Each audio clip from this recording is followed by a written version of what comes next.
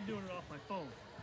I, I'm not sure if they got. A, I I think they have an Oceanside website or Wi-Fi, but I don't know if it's got a password.